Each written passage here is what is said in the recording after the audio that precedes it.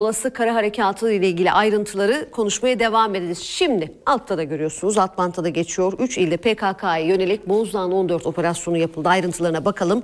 Ali Yerlikaya yaptığı açıklamada 3 ilde bölücü terör örgütüne yönelik eş zamanlı olarak düzenlenen Bozdağ'ın 14 operasyonlarında 94 şüpheli yakalandığını duyurdu. Açıklamada Afyonkarahisar, Ankara ve İzmir'de düzenlenen Bozdağ'ın 14 operasyonlarında şüphelilerin İzmir'de gerçekleştirilen Nevruz etkinliğinde suç unsuru oluşturan bölücü terör örgütü lehine slogan attıkları, sözde filaması olan bez parçalarını taşıdıkları, geçmiş dönemlerde bölücü terör örgütü içerisinde faaliyette bulundukları ve sosyal medya hesapları üzerinden terör örgütü propagandası yaptıkları tespit edildiği belirtildi.